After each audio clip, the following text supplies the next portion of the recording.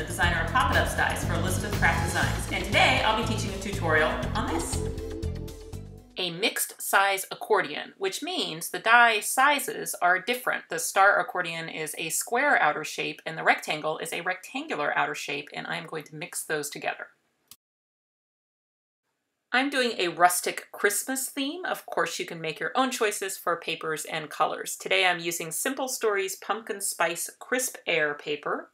From Echo Park's The Story of Christmas line, a sheet of Village pattern paper, a sheet of heavy Card Shoppe cardstock called Candy Bar from Bazzill, and then I've got a 5.5 by 11 inch strip of 80 pound smooth cardstock, which I have used spray adhesive to add that to the back of that wood paper.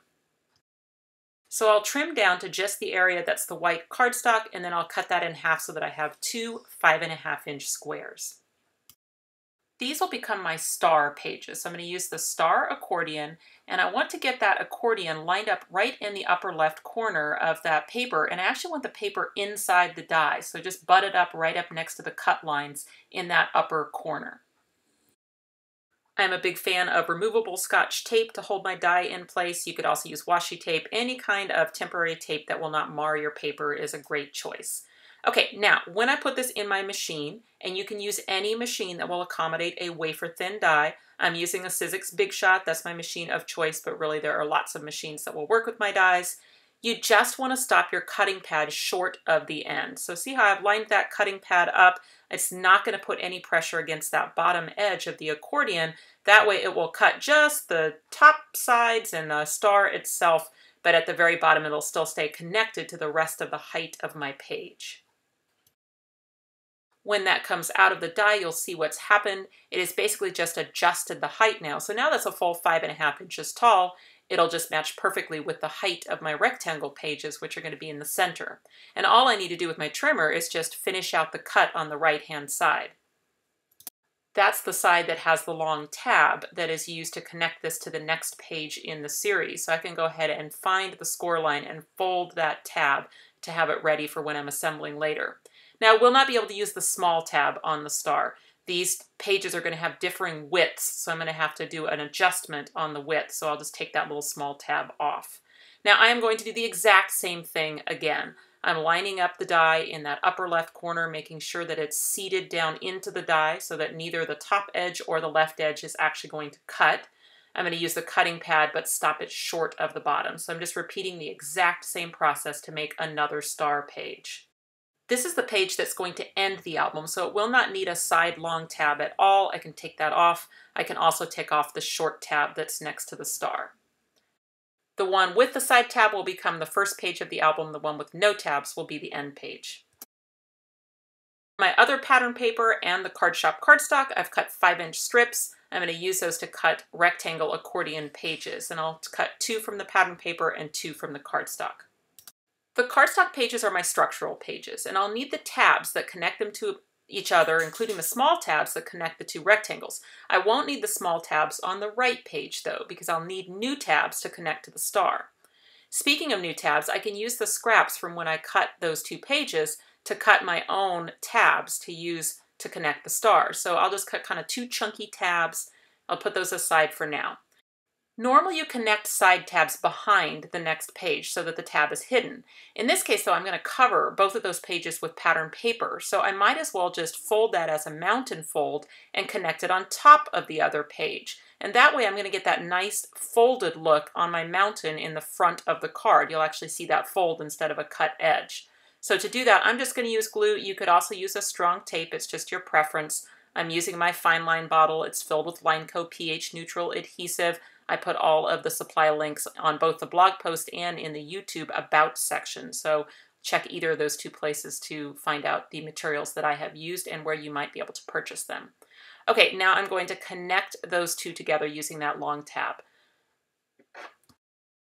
And then I'll use my pattern paper to make the frame. So all I need to do is just gut those. I can just do that with scissors. I just cut right where it's connected at the top and the bottom, and then I actually remove the side tab using a trimmer, and that will get, cut it down to just a frame that can fit on the pages as decoration. And nice thing too is that it will cover up that tab.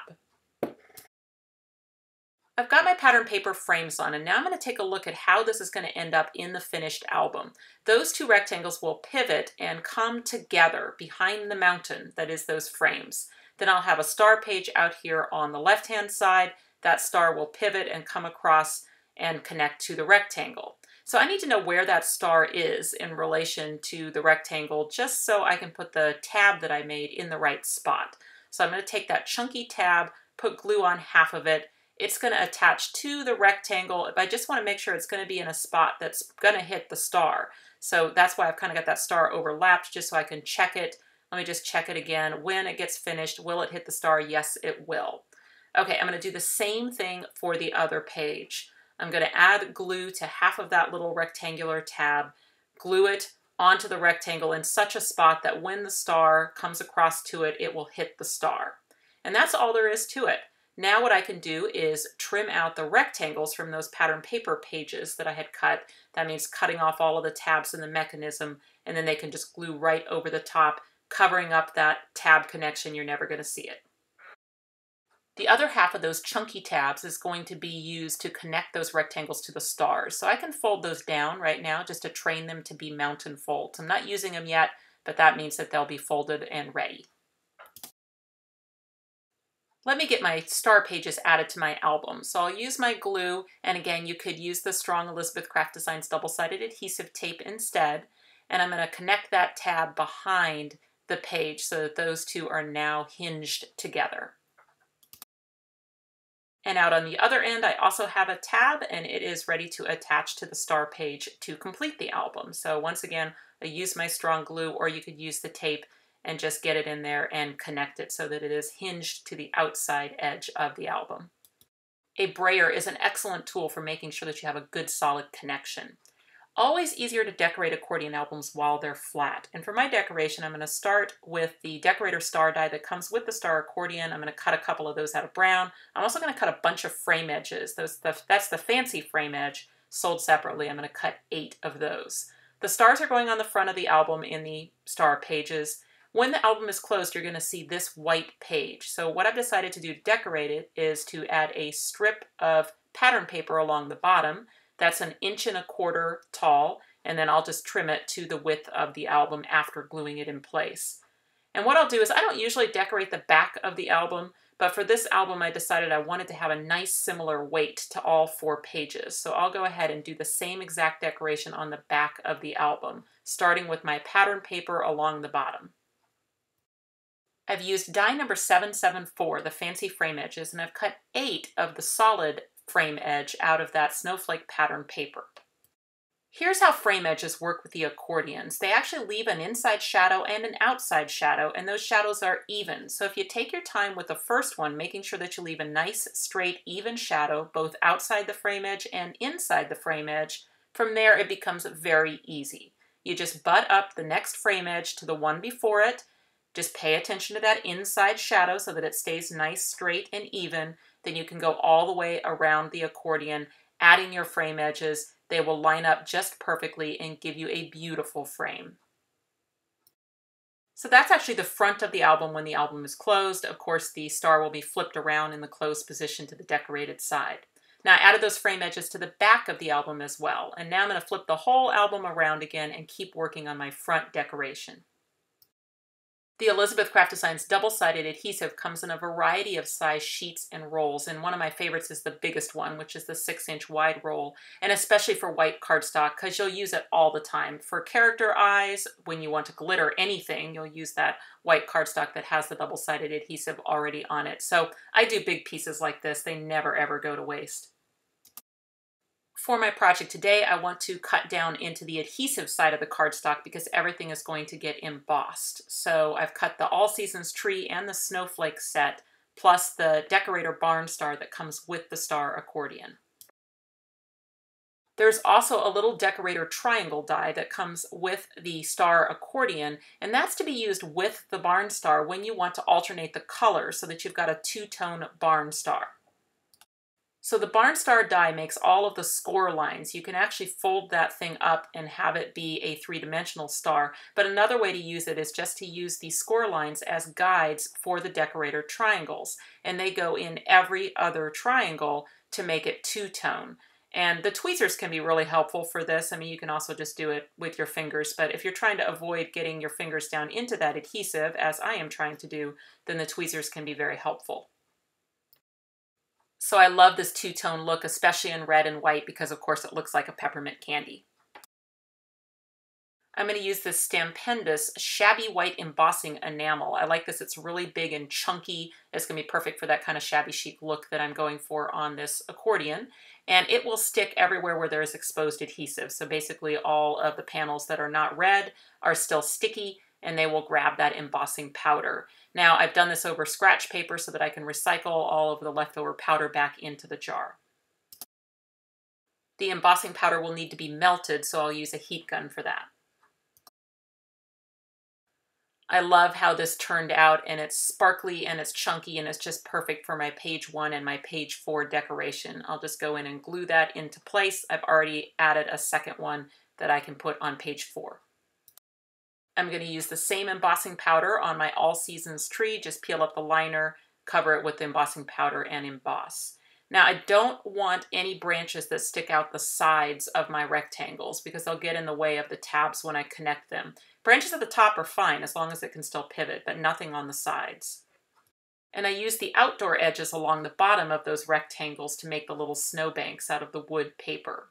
So now I'm ready to decorate my rectangle on the right the exact same way as the rectangle on the left. My tree goes on first, trim off any branches that are on the sides, add my little snowbank at the bottom glue on the little small rectangle tabs, and those are what's going to be used to join the two rectangles to each other. They join behind the mountain, that is those big outer frames. And I'm going to flip that album all the way over so that I can see those tabs on the back of the album, making sure that they stay together even when those two pages close. The rectangle accordion comes with decorator rectangle dies, and I've used the larger one with that snowflake pattern paper to cut two rectangles to go on the back of the album. I don't normally decorate the back, but in this case, because of the shape of the star, you'll actually see a little bit of the back of that rectangle when the album is closed. So this will add that decoration as well as help reinforce those tabs. All right, now we're going to talk about Chunky Tab. Chunky Tab is going to attach to the back of the star, but we don't know where. We need the album to tell us where. So let's fold up the album, and then you'll see Chunky Tab is sitting there, and in the closed position, it'll be very easy to know exactly where to attach it. So let's add some glue to the top of old Chunky Tab and see how it's folded over onto the stack, and the glue is on the top of the tab. I'll hold that in position and close the page. What'll happen is that I'm going to let the album tell me where that tab needs to attach to the back of the star. And it is attached to the back of the star. It's just not right on the edge of the star because those two pages are different widths. So we need the album to tell us where it needs to go. Okay, let's repeat the process for the back chunky tab. We're folded up the album. We're adding adhesive to the top of old chunky there. We're going to hold that closed, rotate the star so that it's the back of the star that hits the glue, and give it all a good press in the closed position. So we're basically letting the album tell us where Chunky Tab needs to go. Now here's why the star is such a good choice for this mixed accordion technique, because the star overhanging the other pages doesn't look weird. In fact, it's kind of a cool feature that you can take advantage of. I'm going to pierce some holes in the overhang area of both stars. So this is the piece of the star that overhangs into the tree pages. And I'm going to use those holes now to suspend a string of beads right across the opening.